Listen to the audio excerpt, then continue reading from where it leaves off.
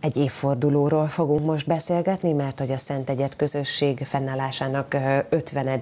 évfordulóját ünnepli idén. Nagy szeretettel köszöntöm itt a stúdióban Szőke Pétert, a közösség budapesti felelősét. Jó reggelt kívánok! Jó reggelt!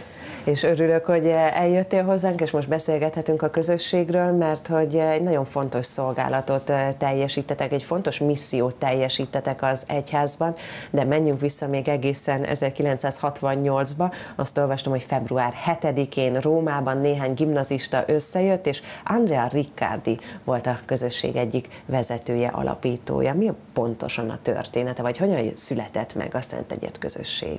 Igen, ugye ő maga az alapító kifejezést nem igen használja saját magára, hiszen ő nem tudta, hogy mit, mit kezd el. Azok a gimnazisták, akik 18 évesen egy római gimnáziumnak a tanulói voltak, a Vergilius gimnáziumról van szó, ők valami nagyon egyszerű dolgot csináltak. Iskola után összegyűltek, és a Szentírást kezdték együtt olvasni, és a Szentírás fényében figyelni az akkori eseményeket. A 1968 nagyon fontos év a nyugat történetében, az egyház történetében is fontos időszak, hiszen a második vatikáni zsinat után vagyunk, forrongás, útkeresés zajlik ekkor az egyházban, és az egyházon kívül is. Ugye a diáklázadások éve ez. Előbb Párizsban, majd Nyugat-Európa más ö, városaiban a fiatalok magukra találnak, és át akarják venni a, a, a kezdeményezést. Lázadnak az intézmények, az idősebb nemzedékek ellen, ilyen jelszavak jelennek meg a falakon, ugye graffitik formájában, vagy, vagy fölfestve, hogy minden hatalmat a fantáziának, vagy légy realista, követeld a lehetetlen, és sorolhatnánk ugye ezeket a jelszavakat. Úgy tűnik, hogy forradalom van 1968-ban, és valóban nagyon sok jó, vagy legalábbis érdekes kezdeményezés zajlik. Mindenképpen olyan emberek, akiknek még választójoguk sincs, akkor főszerephez jutnak. De aztán Andrea Riccardi és barátai azt veszik észre, némi idő eltentével, hogy ezek, ez a felbuzdulás valahogy Zsák utcába jut, tehát nincs igazán kifutása, és akkor azt kezdi kérdezni, hogy e, tulajdonképpen forradalom történt itt. És akkor e, fölismeri azt, hogy az igazi forradalom nem a struktúrák, nem a politika szintjén zajlik, hanem mindig a szívből kell, hogy kiinduljon. Tehát, hogyha igazi forradalmat akarok, akkor először magamon kell kezdenem, a saját szívemet kell megváltoztatnom, de hogyan? Kinek a segítségével? És ekkor ismerik fel az evangéliumnak az erejét. Mondhatjuk azt, hogy akkor mondjuk egy ilyen hagyományos, mondjuk baráti társaságból álló hittan csoportnak kell elképzelni, mondjuk a Szent Egyet közösség úgymond ősét, hogy ezek a Vergilius gimnáziumba járó fiatalok összejönnek, olvassák az evangéliumot, és akkor végül is cselekedetre vártják, vagy megélik az evangéliumot. Így van, igen, inkább ezt az utóbbit emelnénk ki, amit, amit mondtál, hogy olvassák, meghallgatják és tettekre váltják ugye, vagyis az, a házat sziklára igyekeznek építeni. Um, hogyan zajlik a közösség születése, hogyan zajlott akkor is, hogyan zajlik minden, minden keresztény közösség, de legalábbis minden Sant'Egidio közösség születése bárhol történjen az a világban. Úgy, hogy az evangélium szól a szívhez, és önmagunkból való kilépésre ösztönöz. Ugye Ferenc pápa pápasága elejétől azt kéri, azt javasol, hogy lépjünk ki a struktúráink, a falaink mögül, lépjünk ki a saját énünkből, saját intézményeinkből, és induljunk azok felé, akikhez senki sem akar menni. Ezek a szegények. Róma nyomornegyedei bevezetett azoknak a fiataloknak az első útja, egy Csinódromó nevű negyedben utcán csellengő gyerekeket kezdtek el tanítgatni, velük barátkozni, és a családjaikkal. Tehát ez a közösség születése. Jézus szava szól a szívünkhöz, fölismerjük azt, hogy változtatnunk kell, és ha mi változunk, akkor velünk együtt változik a világ is, és a, bekövetkezik az, amiről az előbb hallottam a sajtószemlében, nagyon érdekes volt végighallgatni, amiről Ferenc pápa most beszélt, az irgalmasság és a gyengétség forradalma. Igen, ugye ez volt az üzenete a, a balti államokba tett apostoli látogatása során, de te pedig utaltál a második vatikáni zsinatra, és itt azt írják a közösségről, hogy ugye alapvetően az evangélium követését tűztek itt célul a zsinati megújulás szellemében. Mit jelent ez, vagy mit jelentett ez akkor nekik, vajon 1968-ban a második vatikáni zsinat? Tudatosan akkor még szinte semmit. Ugye, hogy az ember csak később ébred rá arra, hogy kinek is a gyermeke, ez, ez az apám, ez az anyám, ezt a csecsemő nem tudja. Amikor elkezdték való, talán nem is hallottak a zsinatról, vagy ha igen, nem tudatosan a zsinat határozta meg az első lépéseiket. Később a tudatára ébredtünk annak, hogy mi tulajdonképpen a zsinatnak a gyermekei vagyunk, tehát a Sant'Egidio közösség nem csak 1968 által meghatározott valóság, hanem nagy mértékben a második vatikáni zsinat által meghatározott, azáltal ihletett közösség, és persze Róma, második János pápápa mindig azt mondta, hogy bárhova mentek, ti mindig rómaiak vagytok. Tehát ez a három talán ebben a sorrendben második vatikáni zsinat, Róma és 1968. E, a fiatalok együtt imádkoztak és segítették a kirekesztetteket, a, a szegényeket, azokat, akiket Ferenc pápa ma egyébként úgy nevez, hogy a társadalom kiselejtezettjei. Igen. Beszélgettünk már sokat a közösségről, remélem, hogy a kedves nézők is emlékeznek ezekre a beszélgetésekre, de elevenítsük fel még a békeiskolákat, mert hogy valahol ott kezdődött, vagy azzal kezdődött el, Rómában is méghozzá Márkóni híd és a lóverseny pálya közelében Igen. alapították Igen. az első békeiskolát, nem tudom pontosan, olvastam, puskáztam. Mi, mi is pontosan ez a, ez a kis intézmény? Igen, nem, nem így hívtuk akkor, akkor a, akik ezt elkezdték, még úgy hívták, hogy Skola Popolár már magyarra lefordíthatatlan, népi iskola, de nem jelent, nem jelent semmit. A béke iskolája, mely elnevezést később adtuk a gyerekekkel való barátságnak, az már többet mond. Ez úgy született Afrikában egyébként, hogy azt láttuk, hogy mondjuk a, a, a Ruanda, Burundi népírtás után Tutsi és Hutu gyerekek együtt nagyon nehezen tudnak iskolába járni például. És akkor a mi ilyen délutáni iskoláinkban viszont arra tanítottuk őket, hogy hogyan lehet ezt a iszonyatos uh, traumát uh, leküzdeni, és annak ellenére, hogy a szüleik esetleg egymást ölték, uh, egymás barátaivá válniuk. És aztán ezt a, ezt a szellemiséget próbáljuk kiterjeszteni a világ más helyein is, akár itt Budapesten, Monoron például, vagy Pécset vannak olyan foglalkozásaink, amiket szintén békeiskoláinak hívunk, ahol általában nehéz sorsú gyerekekkel játszunk, kicsit tanulunk velük, megyünk kirándulni, visszük őket nyaralni nyáron. Erről szól, tehát az együttélésről, a barátságról. Nézzük meg, akkor azt mondtad, hogy második János Pál pápa, Szent második János Pál pápa azt mondta a közösségről, hogy mindig római marad, na de hát azért az örökvárosból szerencsére kitette a lábát, Igen. és általad is említett Afrikába is eljutott, de hát eljutott Magyarországra is. Hogyan, Igen. mikor került ide Közép-Európába? Ö, valóban Magyar, Közép-Európában valóban először Budapesten született ilyen közösség, 1989-ben, akkor 12 római egyetemista a közösségből eljött Budapestre nyaralni. És a nyaralásukat arra használták föl, hogy magyar fiatalokat megismerjenek. Én is így kerültem velük kapcsolatba. A belvárosi templomban volt egy hetes imádság sorozat, amit ők maguk tartottak, nem volt pap. Tehát 20 éves diákok kiálltak, hirdették és magyarázták az evangéliumot. Ez óriási élmény volt. És a Bárdos atya, aki akkor a a plébános volt, azóta meghalt Isten nyugosztalja, ő ezt megengedte, ezért áldassék a neve, volt benne, volt benne merészség, hogy ezt, ezt megengedje. Igen, azért a 80-as évek itt. végén, a 90-es évek elején azért ritkaság volt, hogy mondjuk Nyugat-Európából jönnek fiatalok, és akkor kiállnak, és pap nélkül beszélnek az evangéliumról. Gondolom ez nem volt azért megszokott, vagy? Mi, mi 1968-89 volt. Tehát Igen. az én nemzedékemnek a 89 a, a nulla év, a meghatározó év, az origó, a szabadság éve, 1989. Tehát nagyon sok minden, tehát a szabadság szele fújt akkor a, a társadalomban, az egyházban is egyébként, tehát merészebbek voltunk talán, mint ma. Ma a merészség sajnos kevésbé jellemző ránk, úgy gondolom. Talán vissza kéne nyúlnunk ezekhez a, ezekhez a hagyományokhoz, talán kis több bátorság nem ártana most sem. Mi volt az, ami neked mondjuk személy szerint szimpatikus volt a, a közösségben, vagy mi az a, az a lelkület, ami megfogott a Szent Egyet közösségben? Személy szerint engem azt fogott meg, hogy az én kortársaim, egyetemisták nem csak önmagukért élnek. Tehát én, én is vallásos voltam gyerekkorom óta, de amikor velük találkoztam, akkor azt láttam, hogy hát én mindent csak saját magamért csinálok. Még a, még a, még a, a, a vallás életem, még a lelki életem is saját magamról szól. És ők viszont szegény gyerekekhez jártak. Tehát az életükben központi szerepet kapott a másokért vállalt felelősség is. És ez egy olyan kalandnak tűnt, amely vonzott, és azt gondoltam, hogy hát bizony ezek jobb keresztények, mint én. Tehát nem lehetünk úgy keresztények, hogy csak magunkkal foglalkozunk. Ez, ez, ezt ismertem fel akkor.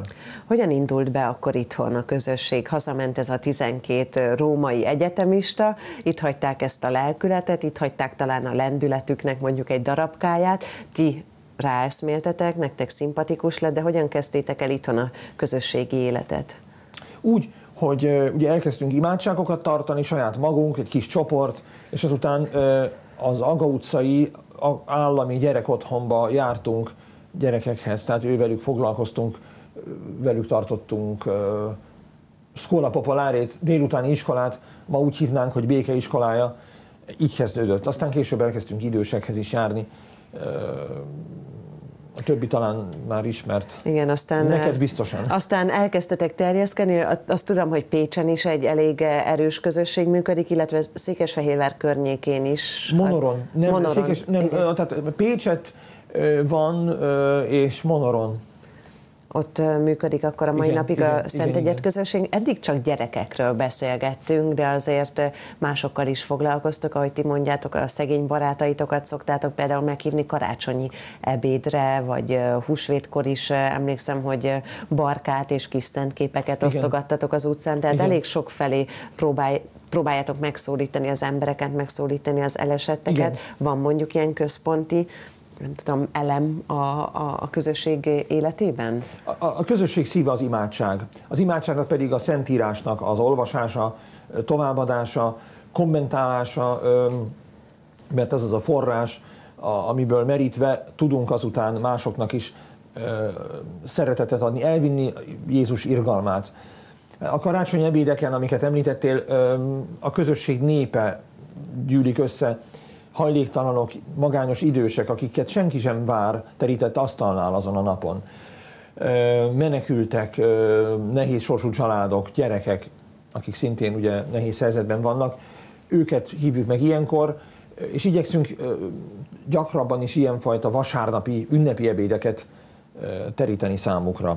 Magyar Kuríron még februárban ugye az alapítás évfordulóján az elnökötökkel, a közösség elnökével készült egy interjú, és feltették neki azt a kérdést, hogy minek örül, vagy mi a legnagyobb öröm az elmúlt 50 évben, de akkor én fölteszem neked kicsit a saját, sajátunkra szabva a kérdést, hogy itthon mi a legnagyobb öröm a közösség életében. Itt most azért majd, hogy nem jubileum, mert azért több mint 25 év eltelt, majd, hogy nem 30 év. Igen, jövőre lesz 30 éve annak, hogy elkezdtük Magyarországon valóban, tehát most az 50. évforduló az 1968-hoz képest uh, számítódik.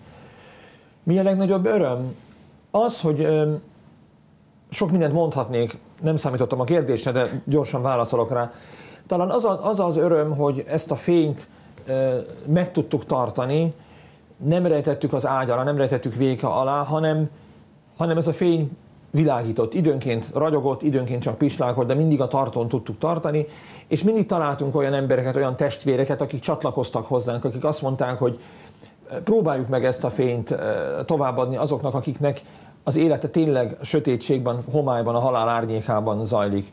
Hogy találunk mindig olyanokat, akik, akik adományjal, akik imádsággal vagy tevőlegesen ebben segítenek, és, és kilépnek velünk együtt a, a, a szegények felé. Mondjuk az evangéliumban tényleg olvashatjuk ugye ezt az üzenetet, meg hogy, hogy szeressük a fele barátainkat, és segítsünk nekik, ez tényleg nagyon sokszor benne van, de azért nem könnyű, vagy ahogy te is mondtad, sokan nem élik meg ezt, vagy nem élik meg így, ilyen szinten az evangéliumot, és most azon gondolkodtam, hogy hogy vannak ezek a karácsonyi ebédek, Igen. ahol ti családostul ott vagytok, Igen. együtt eztek, együtt vacsoráztok, ebédeltek, azért sok család nem így képzeli el mondjuk a, a karácsonykor, szenteste mondjuk a, a, a délutánját, hogy mi az, ami, ami mégis megmozdítja az embereket, vagy, vagy tényleg tele van itt a Józsefvárosi templomban szokott, ha, ha jól tudom, most az, az utóbbi két évek. Van, két, igen, kétszer volt már itt. Tele van a templom, látjuk a fotókat, tényleg mindenki mosolyog, de igen. hogy mi az, ami, ami, ami ennyire lelkesíti tényleg az embereket, vagy a közösségi tagokat, hogy elmennek és rááldozzák az idejüket? Az evangélium öröme. ugye Ferenc pápa első apostoli buzdításának a, a, a kezdő szavai, ezt, ezt tudom rá mondani. Aki egyszer kipróbálja, aki egyszer azt mondja, hogy én megnézem, eljövök, az sokszor uh, utána rabulejtve érzi magát. Um, és azt mondja, hogy Nini, hát ez is, kará, ez is családi ebéd, csak éppen ez egy nagyobb család, tehát nem hárman, négyen, öten ülnek az asztal körül, hanem többen, de családi ebéd. Család azokkal, akiknek nincs családjuk. És ők mit mondanak, a meghívottak, a, a barátaitok, akik eljönnek ezekre az alkalmakra, nekik mit ad a közösség jelenléte, a közösségnek ez a, nem tudom, megtartó keze, megtartó ereje? Hát a leginkább talán azt szemlélteti, hogy mit ad nekik, hogy már hónapokkal korábban készülnek rá, tehát várják, várják, és uh, volt, aki azt mondta, hogy uh, miért nincs minden nap karácsony? uh,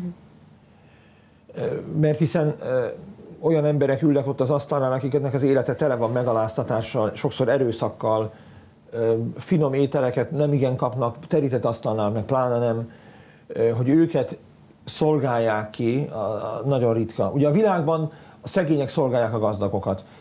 Jézus asztalánál a, a összekeveredik az, akit szolgálnak azzal, aki szolgálja őket, a végén már nem lehet őket feltétlenül megkülönböztetni, ezek 16. Benedek pápa szavai, aztán Ferenc pápa ezt még tovább fejlesztette, és azt mondta, hogy, hogy ki a főszereplő?